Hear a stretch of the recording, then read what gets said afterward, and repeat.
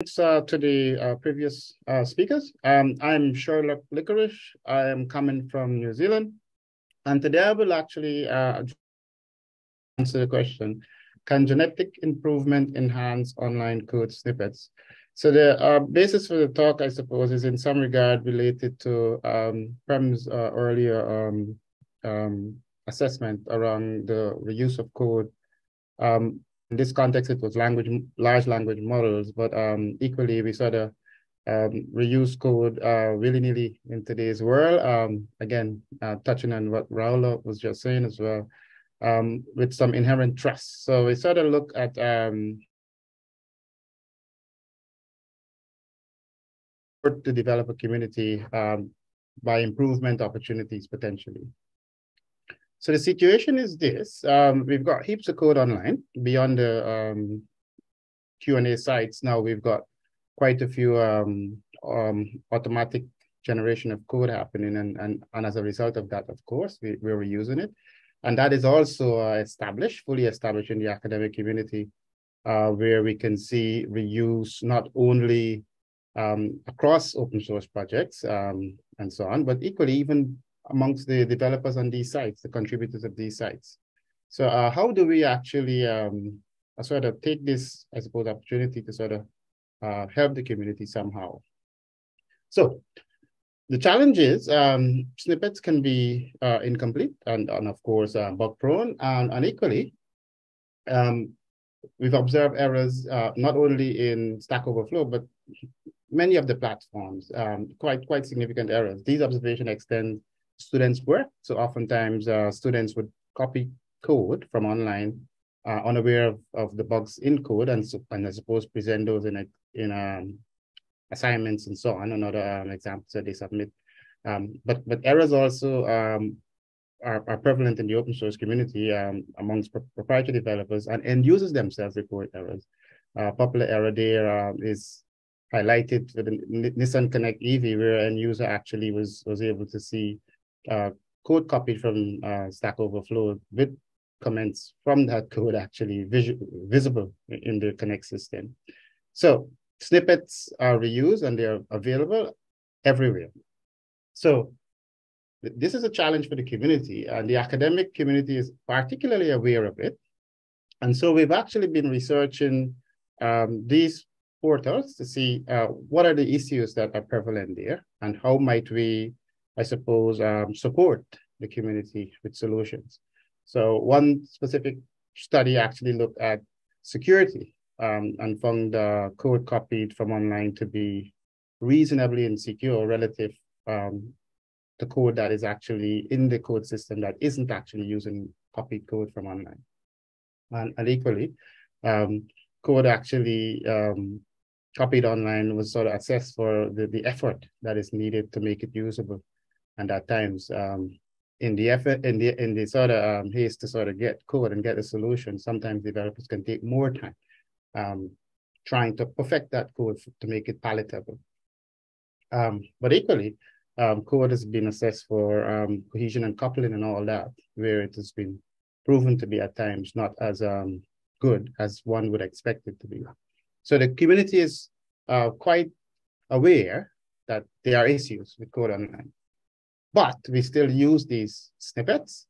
Um, and I think it would be hard for anyone to claim themselves to be without sin uh, in relation to the reuse of snippets from online. So we sort of use these snippets anyway. The question is, um, of course, not if. We know it will happen that we will use it. So the current state of play is as such that uh, recent surveys shows that um, much of the code that is actually uh, available online is not necessarily generated or provided there for reuse as we do. So typically code online, so that we can see that it is actually given pretty much for us to actually sort of extend and perfect and to, and sort of provide it, provide our solutions in a way that is not necessarily intended just for copy and reuse.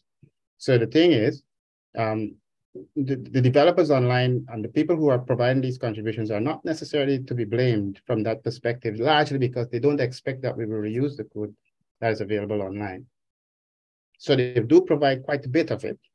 So they typically would provide at least two to three snippets for each piece of um, for each solution that is provided on a Q&A site, whether it's Quora or Stack Overflow, there's abundance of code for every question that is answered.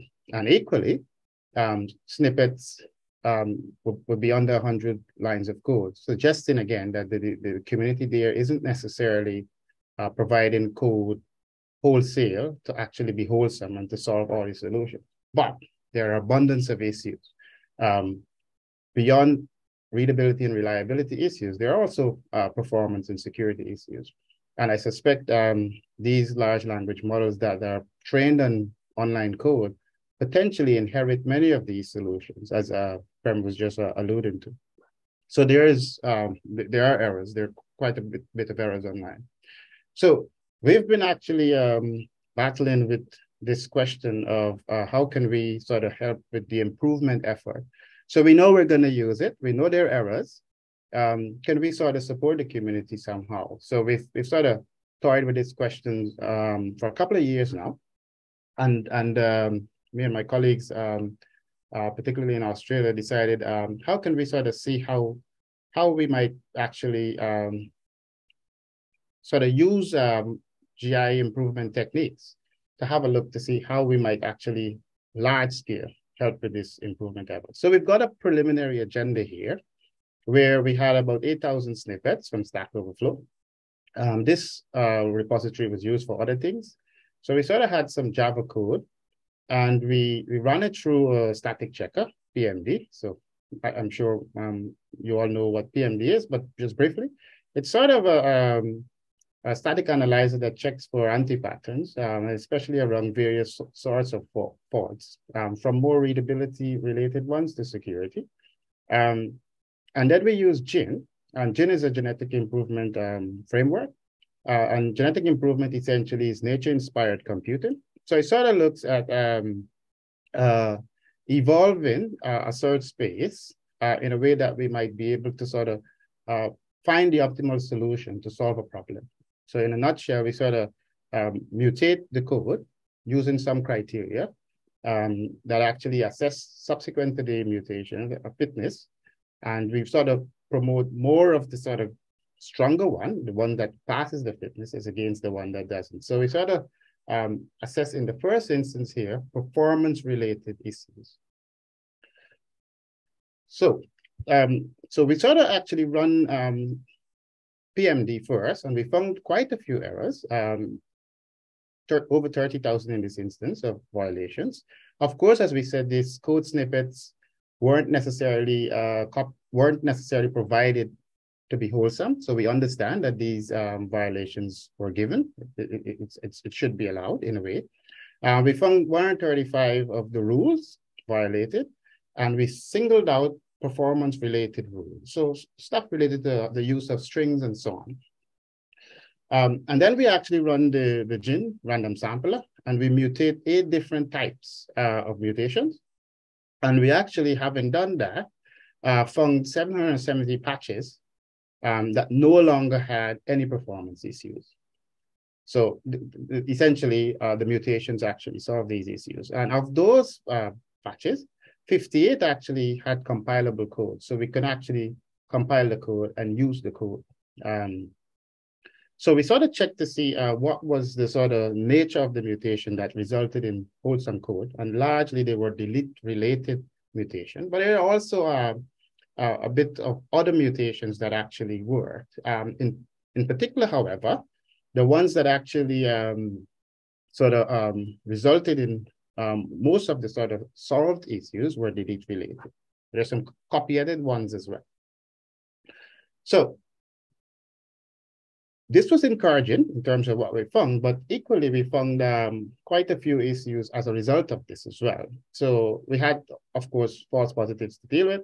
Um, and, and, and of course, that meant that sometimes errors were reported that weren't real errors. Uh, we needed to improve parsing. And then, of course, um, crowdsource rules we, we were short on rules. Um, equally, we, we, we believe that we needed better sampling, uh, better code transformation, and of course, uh, non-functional properties we could not have actually detected. Now, I must caution that GIN is typically used with uh, test cases, but we didn't. So we run PMD we run Gin, and then we run PMD again. So in some regard, um, this our result may be inflated in that if we may have run some of the tests, unit tests, maybe some of the um, code may have failed. So we've got this published in um, this paper where we sort of followed up to look more in more detail at some of the mutations. And so we sort of provide this there if you wanted to follow up on that. Thanks, I, I should uh, extend thanks to the team. Um, um, but beyond that, two funding, funding sources that supported the work and also for the opportunity to present here, um, Greg and team. So I, I can probably repeat or sort sorry, revisit the question here. Um, and in some regard, I might say, as opposed as a statement, uh, I think genetic improvement might help um, to improve code. Thanks very much. Happy to take your thoughts. All right. Thank you very much, Sherlock. Um, again, questions coming in from our viewers. And the first one harks back to a question asked earlier. Who gets the credit for writing the code that's produced by these sorts of genetic algorithms? So, so the genetic algorithm in this context is used to improve the code. Um, I suppose if we sort of look at um, um, Copilot or, or one of the, the large language models, um, in in reality, I think we don't have legislation to sort of um, really police and to sort of look after this paradigm as as as as we should.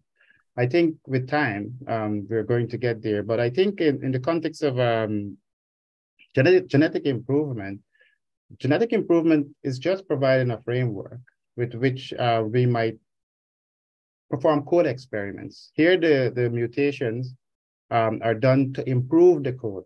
Code is online and it's actually, of course, open for use. Uh, in, the case of Stack Overflow, for instance, it, it's given the API, the, uh, the SQL engine is given for us to query uh, as it is. Um, whether or not that should be allowed, that the community at the moment, I suppose, isn't quite matured and ready to deal with that. So in the in the in the um, current uh, instance, we we use it as it's available. Okay, and another question is, are these genetic algorithms fast enough that they can be used in real time to suggest code improvements or code alterations as the code is being developed? That's a very good question. So I, I think um, uh, for the most part, the more extensive frameworks will need um, computing resources. So it's it's it's not going to be easy for, for someone um, an environment with low resource computers to actually use these frameworks. The thing is, however, I think in most contexts, developers um, got the sort of the framework or the environment that will allow us to use these algorithms with ease. Um, and, and more and more they're designed for optimization such that it, it, is possible that we would be able to leverage them. But as with everything else, um, it, it's sort of it's, there's no one size fits all. I suppose it's about having an assessment of your reality, and then of course retro, retrofitting a solution to suit your case.